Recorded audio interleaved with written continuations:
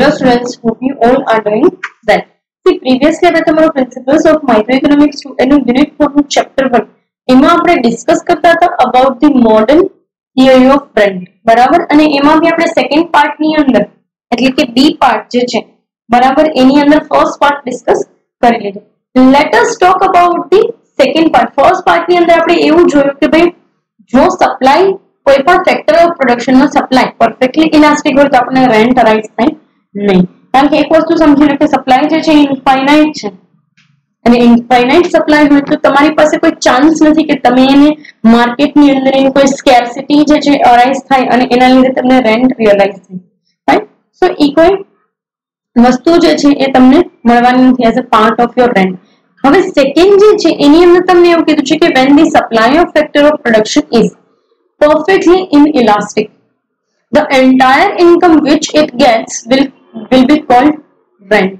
બરાબર જેવી રીતે પરફેક્ટલી ઇન પરફેક્ટલી ઇલાસ્ટિક સપ્લાયના કેસની અંદર ઝીરો રેન્ટ અરાઇઝ થાય છે એવી રીતે આ લોકો તમને એમ કહે છે કે પરફેક્ટલી ઇનઇલાસ્ટિકના કેસમાં તમને જેટલી બી ઇન્કમ અરાઇઝ થાય છે it will be the part of your rent or we can say that it is the part of your profit તેની વસ્તુ તો એ સમજી લઈએ કે પરફેક્ટલી ઇલાસ્ટિક સપ્લાય એટલે શું બરાબર? તો સપ્લાય ફિક્સ જ રહે ડિમાન્ડની કમ્પેરિઝનમાં ઇનઇલાસ્ટિક નો પરફેક્ટ જો મિનિંગ તમે જોવા જાઓ, તો એમાં કોઈ પણ પ્રકારનો ચેન્જ ના આવે. એવું તમે સમજીને ચાલો કે સપ્લાયની અંદર કોઈ પણ પ્રકારનો ચેન્જ આવશે નહીં. ઇટ મીન્સ માર્કેટની અંદર તમારે જે રો મટીરિયલ જોઈએ છે, એ બનાવવા વાળા ત્રણ જ કંપની છે, તો એ લાઈફ ટાઈમ અથવા તો from we can say that for at the end of this earth એ એટલા જ રહેશે એવું માની લોકો ચાલે છે એટલે કે સપ્લાયના મામલામાં જો જોવા જાવ તો એ ત્રણ લોકો તમને આખા માર્કેટને જે છે જે કંઈ પણ રો મટીરિયલ હોય સપ્લાય કરતું વાત થઈ ગઈ પૂરી બરાબર હવે આવા કેસની અંદર તમને જેટલી બી amount over or we can say that on the excess of minimum supply તમને રિયલાઇઝ થાય એ તમામ પ્રકારની વસ્તુ જે છે એ રેન્ટ છે rent of basically we can say that it is a profit બરાબર? હવે, માની લો કે મારી પાસે હું એક જ સપ્લાયર છું. મારી પાસે લેવાવાળા ઘણા બધા લોકો છે. એક વ્યક્તિ મારી પાસેથી નોર્મલી ટેન યુનિટ્સ લઈ જાય. બરાબર? બધા મારી પાસેથી ટેન ટેન યુનિટ્સ લઈ જાય છે. પણ જ્યારે એ લોકો અબાઉટ ટેન યુનિટ્સ જે છે એ મારી પાસે ડિમાન્ડ કરશે, એટલે હું એ લોકો પાસેથી એક્સેસ ઇન્કમ લેવાનું સ્ટાર્ટ કરી દઈશ. બરાબર કારણ કે મારી પાસે બનાવેલા સો યુનિટ જ છે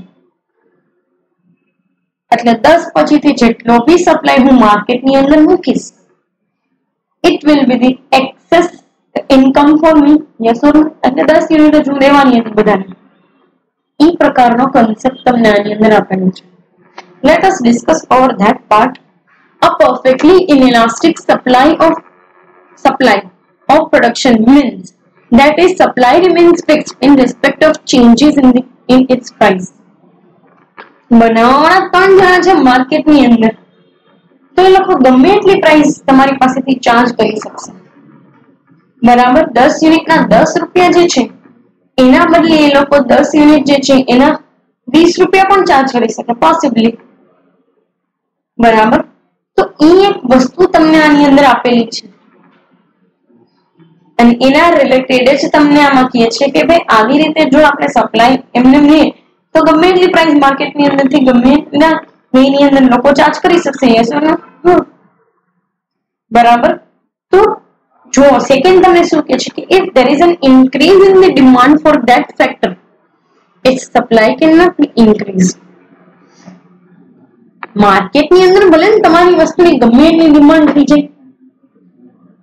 બરાબર? તમારી વસ્તુ એ માર્કેટની અંદર ગમે એટલી ડિમાન્ડ ભલે થઈ જાય, પણ એનો સપ્લાય નહીં વધી શકે.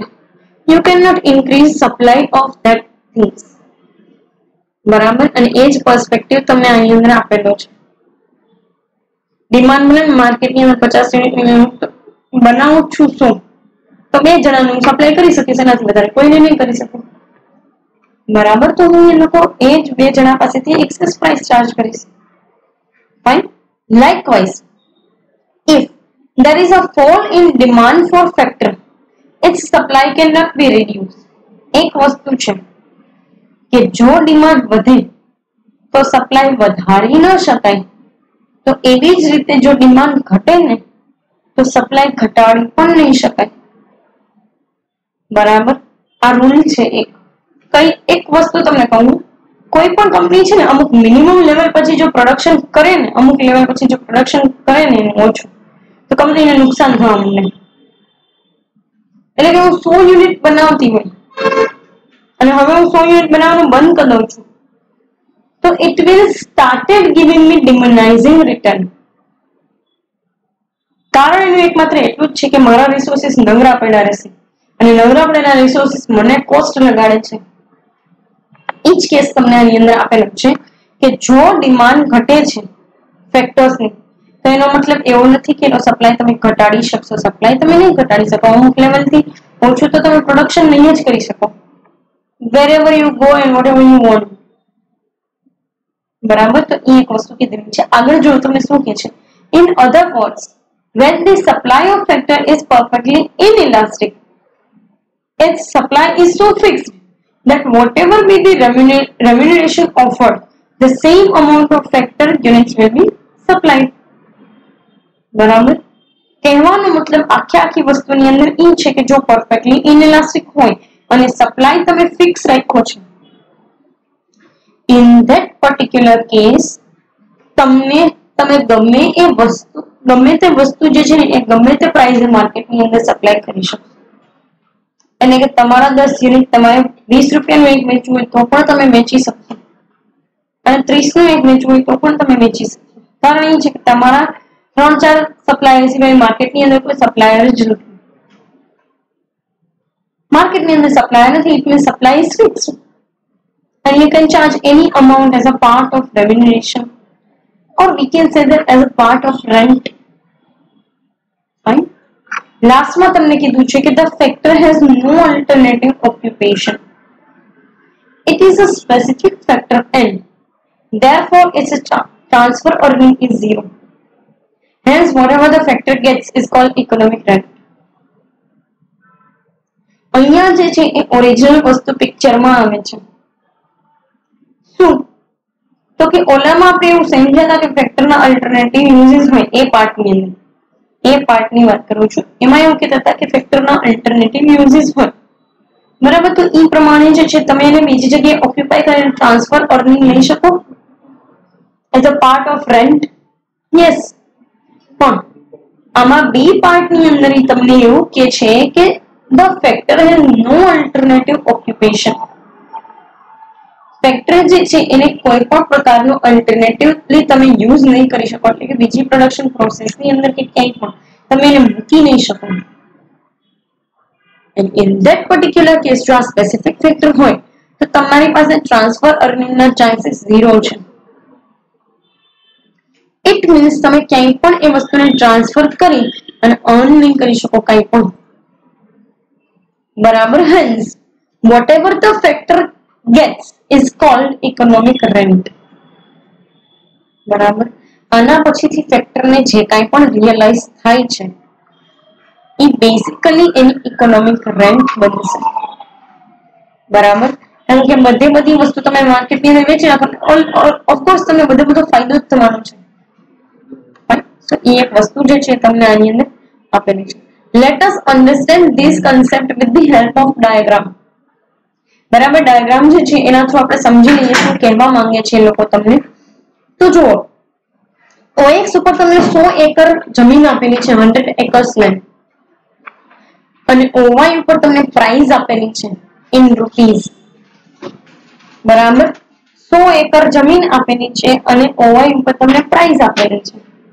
રેન્ટ ક્યારે મળે ને એ વસ્તુ તમને કહે છે કે સપ્લાય ફિક્સ હોય છે. બરાબર? એસએસ તમારી સપ્લાય લાઈન છે. ડીડી તમારી ડિમાન્ડ લાઈન છે અને પ્રી પી જે છે એ તમારો પ્રાઇસ નો પોઈન્ટ છે બરાબર હવે જે કાંઈ પણ તમને રેન્ટ આપેલી છે અહીંયા ઓ થી ઓ એક્સ ઓ વાય ઉપર તમને ત્રણ લેવલ આપ્યા છે 20 40 ને 50 સપ્લાય તો ફિક્સ જ રહે છે પહેલા તમે 20 રૂપિયા ચાર્જ કરતા હતા પછી તમે 40 ચાર્જ કરો છો આટલી જ જમીન બરાબર આટલા જ જમીનના સપ્લાય પેલા તમે વીસ ચાર્જ કરતા હતા હવે ચાલીસ ચાર્જ કરો છો ને પછી હવે પચાસ ચાર્જ કરો તો અહીંયા સપ્લાય ફિક્સ છે તો તમારી પાસે ચાન્સ છે વધારે જે છે એ રેન્ટ જે છે એ કમાવાનો તો કે હા અને એ જ ચાન્સના જે છે એ બેઝિસ ઉપર તમને આ વસ્તુ આપેલી છે એ જ ચાન્સના બેઝ ઉપર તમને આ વસ્તુ આપેલી છે અને એને તમારે ધ્યાનમાં લેવાનું છે બરાબર? અહીંયા સપ્લાય જે છે એ તો ફિક્સ જ છે, જુઓ. આનાથી ક્યાંય વધે છે સપ્લાય આમ આવી રીતે તમને સપ્લાય લાઈન આપી ને, એનો મતલબ એવો થાય કે સપ્લાય વધે છે. પણ અહીંયા તો સપ્લાય લાઈન સ્ટ્રેટ છે. ઇટ મીન્સ સપ્લાય ક્યાંય ઇન્ક્રીઝ થતો નથી. અને સપ્લાય જો ઇન્ક્રીઝ નથી થતો, તો બેઝિકલી ફિક્સ સપ્લાય છે એવું આપણે માનીને ચાલીએ છીએ. એની સામે તમે વીસ રૂપિયા, ચાલીસ રૂપિયા, પચાસ રૂપિયા બેઝિકલી જ્યાં સુધી સપ્લાય ફિક્સ રહેશે ત્યાં સુધી તમે, એટલે કે અહીંયા સુધી પણ તમે રેન્ટ લઈ શકશો. લોકો પાસેથી and this will be the whole income of rent for you બરાબર or whole income of profit for you તો એ વસ્તુ જે છે એ તમને આની અંદર આપેલી છે this is the second part of b બરાબર બી કન્સેપ્ટ આપણને જે આપેલો હતો એનો જે છે આ સેકન્ડ પાર્ટ આપણે કન્સિડર કરેલો છે બરાબર કમિંગ સેશન ની અંદર આપણે થર્ડ પાર્ટ જે છે એ સ્ટડી કરવાનો છે બરાબર which is the real idea and practical idea fine અત્યાર સુધી બંને વસ્તુ સમજ્યા એ એક ઇમેજનરી કન્સેપ્ટ હતો or we can say that the introductory concept હતો બટ અહીંયા જે છે મેઇન કન્સેપ્ટ આવે છે બરાબર જેમાં એ લોકો તમને ઓરિજિનલ જે છે એ વસ્તુની વસ્તુથી વસ્તુની સાથે વાકેફ કરાવશે ફાઇન સો પર્ટિક્યુલર આ સેશન માટે જે છે એ અહીંયા સુધી રાખીએ થેન્ક યુ સો મચ